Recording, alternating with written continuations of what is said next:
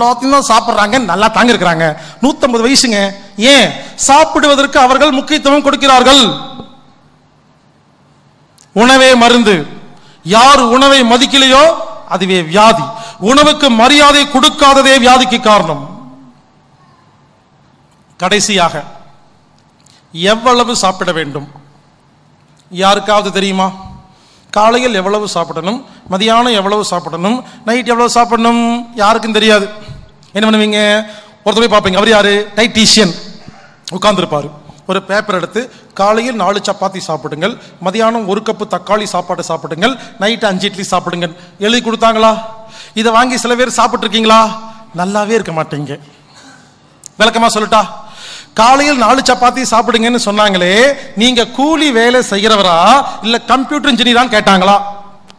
ஒருத்தர் கூலி வேலை செய்கிறாரு அவர் ஜல்லி கல் வந்து ஒரு ஐநூறு சட்டி எடுத்து கொடுக்குற வேலை. எவ்வளோ பசிக்கும்? அவருக்கு எட்டு சப்பாத்தி வேணுமா? ஒரு கம்ப்யூட்டர் இன்ஜினியர் குழு குழு ஏசி ரூமில் உட்காந்துருக்காரு அவருக்கு ஒரு சப்பாத்தி சாப்பிட்டா போதுமா? இன்னைக்கு நான் எட்டு மணி நேரம் தொடர்ந்து பேசுகிறேன் நான் நிறையா சாப்பிடுவேனா? நாளைக்கு எனக்கு மீட்டிங்கே இல்லை. கொஞ்சமாக சாப்பிடுவேனா? அப்போது ஒரு மனிதன் எவ்வளவு சாப்பிடணுங்கிறது ஹைட்டு வெயிட்டு வயசு climate AC non AC temperature humidity mood வேலை இதை பொறுத்து மாறுமா இல்லையா? இதையெல்லாம் எதுவுமே கேட்காம நாலு சப்பாத்தி சாப்பிடுன்னு எப்படி சாப்பிட்றீங்க? ரெண்டாவது ஒரு கேள்வி. இனிமேல் யாரும் டைட்டிஷனை பார்க்க போகவே மாட்டீங்க. நாலு சப்பாத்தி சாப்பிடுங்கன்னு எழுதி கொடுத்தாங்க இல்லையா? அதை பார்த்து கரெக்டாக நாலு சப்பாத்தி சாப்பிட்றீங்க இல்லையா? உங்கள் வீட்டு சப்பாத்தி இவ்வளோ பெருசு இருக்குமா? இல்லை இவ்வளோ பெருசு இருக்குமான்னு சாம்பிள் காமிச்சிங்களா? யோசிங்க. நாலு சப்பாத்தின்னு சொன்னாங்க. அந்த சப்பாத்தியோட திக்னஸ் டென்சிட்டி டயாமீட்டர் கொடுத்தீங்களா? இல்லை இல்லை. It is an technical error ஒரு வீட்டு சப்பாத்தி குண்டா இருக்கு. ஒன்று சாப்பிட்டா வயிறு நிறைஞ்சிருதா? ஒரு வீட்டு சப்பாத்தி அப்பளம் மாதிரி இருக்கா? நாலு ஏழு தேவைப்படுதா? அப்போ உங்க வீட்டு சப்பாத்தியோட டென்சிட்டி டயாமீட்டர் திக்னஸ் வெயிட் கொடுக்காம அவர் எப்படி நாலு சப்பாத்தின்னு சொல்லலாம்? சரி மதியம் ஒரு கப்பு தக்காளி சாப்பாடு சாப்பிடுங்கன்னு சொல்றாங்களே உங்க வீட்டில் இவ்வளோ பெரிய கப்பு இருக்கு. வந்து கப்பு சைஸ் பார்த்தாரா? அது டயாமீட்டர் சொன்னாரா? டெப்த் சொன்னாரா? பச்சரிசியா புழுங்கரிசியான்னு கேட்டாரா? நைட்டு அஞ்சு இட்லி சாப்பிடுங்கன்னு சொல்றாரு. எல்லா வீட்டு இட்லி ஒரே சைஸா இருக்கு. ஒரு வீட்டுக்கு போனால் ஒரு கிலோக்கு இருக்கு. இன்னொரு வீட்டில் கால் கிலோக்கு இருக்கு. இப்போ புதுசாக வந்திருக்கு. மினி இட்லி ஃபோர்டீன் இட்லின்னு. இட்லின்னு சொன்னாரு. அது வெயிட் சொன்னாரா? யோசிங்க இது கூட லாஜிக் கொஸ்டின் கேட்காம எனக்கு எப்படி ஃபாலோ பண்றீங்கன்னு தெரியலீங்க. புரிந்து கொள்ளுங்கள். அளவெல்லாம் கிடையாதுங்க. நான் சொல்ற மாதிரி செய்யுங்க. அதான் அளவு. சரிங்களா?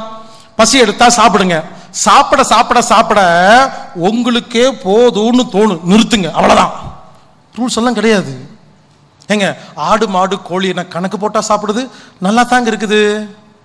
சில பேர் கேட்குறாங்க அப்போ அளவே இல்லாமல் இது வரைக்கும் சாப்பிட்டா ஒன்றும் ஆகாதா? ஒன்றும் ஆகாது. நாலு இட்லி சாப்பிட வேண்டிய இடத்துல எட்டு இட்லி சாப்பிட்டா நோயெல்லாம் வராது. என்னாகும் தெரியுமா? அடுத்த பசி லேட் ஆகும். அவ்வளவுதான். ஒரு முறை எவ்வளவு சாப்பிட்டாலும் அது ஜீரணம் ஆகும் வரை உங்களுக்கு புது பசி வராது. எனவே எப்பொழுது பசி எடுக்குதோ சாப்பிடுங்க. ஆசிரியரை சாப்பிடுங்க. எப்போ போதும்னு தோணுதோ நிறுத்துங்க. ஆனா ஒரு கண்டிஷன் அடுத்த பசி வரை காத்திருங்கள். இந்த டெக்னிக் யார் ஃபாலோ பண்றீங்களோ இனிமேல் உங்களுக்கு இது சாப்பிடலாம் அதை சாப்பிடலாம் லிஸ்டோ அளவோ எல்லாம் கிடையாது. கடைசியா ஒரு ஸ்டேட்மெண்ட் சொல்றேன். இதை மட்டும் யாருக்கு புரிஞ்சிருச்சோ? எந்த வியாதி இருந்தாலும் மூணே மாசத்தில் குணமாகும். கிளைமேக்ஸ் நல்லா கவனிங்க. நுணுக்கமாக கேட்கணும். நமது உடம்பில் எந்த வியாதி இருக்கிறதோ அந்த வியாதிக்கு எந்த மருந்து வேணுமோ அந்த மருந்து எந்த உணவில் இருக்கிறதோ அந்த உணவு நமது நாக்குக்கு பிடிக்கும். நமது உடம்பில் எந்த வியாதி இருக்கிறதோ அந்த வியாதிக்கு எந்த மினரல் விட்டமின் தேவைப்படுதோ அந்த மினரல் விட்டமின் எந்த உணவில் எந்த பழங்களில் எந்த காய்கறியில் இருக்கிறதோ அதுதான் உங்கள் நாக்குக்கு பிடிக்கும். வேறு எதுவுமே பிடிக்காது. தாங்க சப்ஜெக்ட் எனவே இனிமேல் உங்கள் நாக்கு தான் டாக்டர் சுவைதான் மருந்து. நாக்குக்கு பிடிச்சதை மட்டுமே சாப்பிடுங்கள். உங்கள் வியாதி என்னவா இருந்தாலும் குணமாகிவிடும் நாக்குக்கு பிடிக்காததை சாப்பிடாதீர்கள். உதாரணமாக யாருக்கெல்லாம் பொடுகு இருக்குதோ பலாப்பழம் பிடிக்கும். யாருக்கெல்லாம் கிட்னி டேமேஜ் ஃபெயிலியர் இருக்கோ பீன்ஸ் பிடிக்கும். யாருக்கெல்லாம் புரோட்டீன் உடம்புல கம்மியாக இருக்குதோ பருப்பு சாம்பார் பிடிக்கும் பருப்பு வடை பிடிக்கும். யாருக்கெல்லாம் பித்தப்பையில் பித்தப்பையில கல் இருக்கோ சாம்பார் வடை பிடிக்கும். யாருக்கெல்லாம் ஆஸ்மா வீசிங் நெஞ்சு சளி சைனஸ் அலர்ஜி நிமோனியா தோல்வியாதி இருக்கோ சின்ன வெங்காயம் பிடிக்கும் துளசி இலை பிடிக்கும் கற்பூரவல்லி இலை பிடிக்கும் மிளகு ரசம் பிடிக்கும். யாருக்கெல்லாம் உடம்புல க- கால்சியம் கம்மியாக இருக்கோ தயிர் சாப்பாடு பிடிக்கும். யார் ஓவராக பேசுகிறீங்களோ தோசை பிடிக்கும். இப்படின்னு நீங்கள் என்ன பிடிக்கும்னு சொல்லுங்கள் உங்களுக்கு என்ன வியாதின்னு நான் சொல்லுவேன். நல்லா கேட்டுக்குங்க. உடம்பு அவ்வளோ பெரிய புத்திசாலிங்க. நமது உடம்பில் எந்த வியாதி இருக்கிறதோ அந்த வியாதிக்கு எந்த மருந்து வேணுமோ அது மட்டுமே நமது நாக்குக்கு பிடிக்கிறது. யார்ட்டையும் கேட்க வேண்டாம். சயின்ஸே தெரிய வேண்டிய அவசியம் இல்லை. ஒரு உதாரணம் சொல்லட்டா. இங்க இருக்கிற யாருக்காவது ஆப்பிள் பிடிக்குமா? எங்க வீட்டுக்கு வாங்க. ஏழு நாள் எங்க வீட்டில் தங்கணும். எப்பெல்லாம் பசிக்குதுன்னு சொல்றீங்களோ ஆப்பிள் மட்டும்தான் கொடுப்பேன். வேற எதுவுமே கண்ணிலேயே காட்ட மாட்டேன். உங்களுக்கு தான் பிடிக்கும் இல்லையா? பார்க்கலாம். ரெண்டு நாள் சாப்பிடுவீங்களா? மூணு நாள் சாப்பிடுவீங்களா? நாலாவது நாள் காலையில் பசிக்குதுன்னு சொல்கிறீங்க நான் தட்டில் ஆப்பிள் எடுத்து வருவேன். நீங்கள் சொல்லுவீங்க தமிழில் பிடிக்காத ஒரே வார்த்தை ஆப்பிள். பிடிச்ச ஆப்பிள் ஏன் பிடிக்காம போச்சு? உங்கள் உடம்பில் ஒரு வியாதி இருந்திருக்கிறது. அந்த வியாதிக்கு ஒரு மருந்து தேவைப்பட்டிருக்கிறது. அந்த மருந்து ஆப்பிளில் இருந்திருக்கிறது. எனவே உங்களுக்கு பிடித்திருக்கிறது. மூன்று நாள் தொடர்ந்து சாப்பிட்டவுடன் அதன் தேவை தீர்ந்து விட்டது அந்த வியாதி குணமாகிவிட்டது. இப்பொழுது தேவையில்லை. எனவே உங்களுக்கு பிடிக்கவில்லை. எனவே எந்த உணவு பிடிக்கவில்லையோ? கெட்ட உணவல்ல. எந்த உணவு உங்களுக்கு பிடிக்கவில்லையோ? அந்த உணவில் உள்ள சத்து உங்கள் உடம்பில் ஏற்கனவே இருக்கிறது என்று அர்த்தம். சிம்பிள் நான் சாப்பிடும்போது வந்து பாருங்க நீங்க சாப்பிடும்போது பாருங்க டிஃபரன்ஸ் இருக்கும். எப்படி சாப்பிடுவோம் தெரியுமா? இங்க பாருங்க. வழக்கமாக என்ன பண்ணுவோம்? நாலு கரண்டி சாப்பாடு போட்டு நாலு கரண்டி குழம்பு ஊற்றி பிணைவோம் முதல் வாய் வைக்கிறீங்க. பிடிக்கலை. என்ன பண்ணுவீங்க? வேற வழி இல்லாம தட்டில் போட்டோம் சாப்பிட்றோம் இல்லையா? இதுதான் கெட்ட பொருளாக மாறுகிறது. நான் என்ன பண்ணுவேன்? நாலு கரண்டி சாப்பாடு போட்டு நாலு கரண்டி குழம்பு ஊற்ற மாட்டேன். கால் கரண்டி குழம்பு ஊற்றி என்கிட்ட கேட்பேன். நான் கேட்டேன் ஏப்பா உனக்கு வேணுமா வேண்டாமான்னு? அவருக்கு பிடிச்சிருந்ததுன்னா ரெண்டு கரண்டி குழம்பு ஊற்றுவேன் குழம்பு பிடிக்கலையா? புரிஞ்சுக்குங்க. நல்லா சமைக்கலன்னு இல்லை. எனக்கு தேவையில்லை. ரசம் ஊற்றுவேன் ரசம் பிடிச்சிருச்சா? அப்போ என்ன அர்த்தம்? எனக்கு மருந்து ரசம். ரசம் மோடி ரசம். மோடி ரசம்னு நாலு முறை ரசம் மட்டும் சாப்பிட்டு எந்திரித்து விடுவேன். இன்று நான் ஆரோக்கியமாக இருப்பேன். இப்படித்தான்.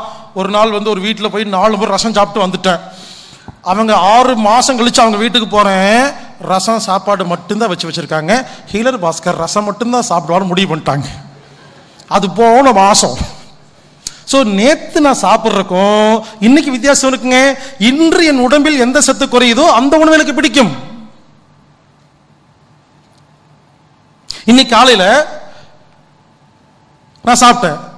இட்லி பொங்கல் சட்னி சாம்பார் பொடி வடை எல்லாம் கொடுத்தாங்க. நல்லா கேட்டுக்குங்க. எனக்கு இட்லியும் பொடியை தவிர வேறு எதுவுமே பிடிக்கலைங்க. அப்படியே வச்சுட்டு ஏழு இட்லி பொடி சாப்பிட்டு வந்து உட்காந்து பேசிட்டு இருக்கிறேன். பிடிக்காத பொங்கலையோ பிடிக்காத வடையோ சாப்பிட்டிருந்தா பேச முடியாது. அதுக்காக எனக்கு பொங்கல் வடை பிடிக்காது என்ற அர்த்தம் இல்லை.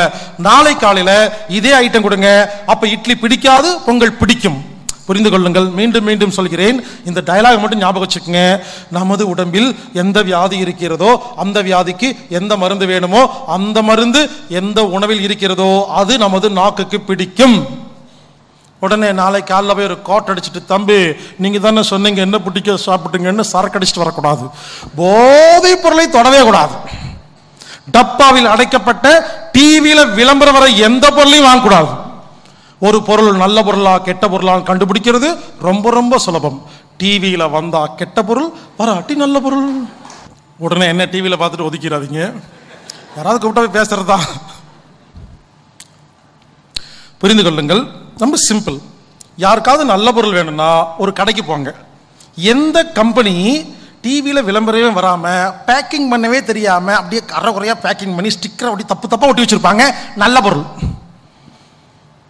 பேரில்லாத எல்லா பொருளும் பிராண்ட் இல்லாத எல்லா பொருளும் நல்ல பொருள். எப்போ பிராண்ட் வந்துருச்சோ? யோசிச்சு பாருங்க. ஒரு நாள் ஒரு நிமிஷம் டிவியில் விளம்பரம் போகிறதுக்கு எவ்வளவு காசு தேவைப்படும்? அப்போ ஒரு கம்பெனிக்காரன் ஒரு நாளில் நூறு விளம்பரத்தை எல்லா டிவிலையும் போடுறான்னா எவ்வளோ பெரிய அயோக்கியனாக இருப்பான்? சிம்பிள் நல்ல பொருளை விற்க முடியாது. வித்து அவ்வளோ விளம்பரம் பண்ண முடியாது.